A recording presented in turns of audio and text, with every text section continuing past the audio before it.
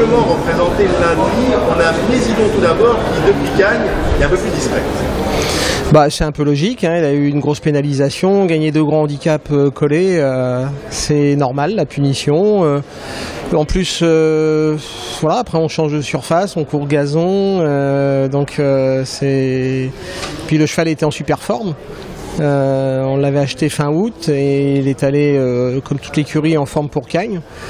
Toute l'écurie euh, peine un petit peu toujours après, un peu normal, euh, et plus le poids.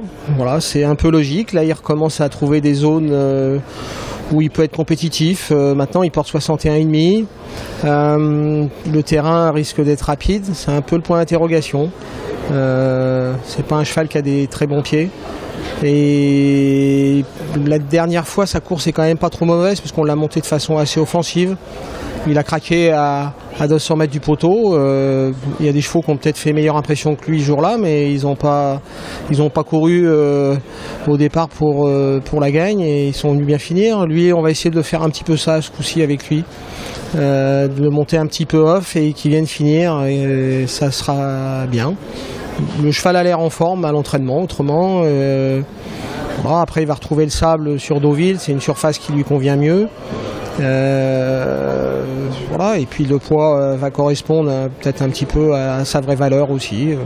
Là, euh, on va le monter en attendant, donc pourquoi pas prendre une place, surtout qu'on s'aperçoit que le, le handicap descend assez bas. Peut-être que le lot est un peu moins homogène que d'habitude.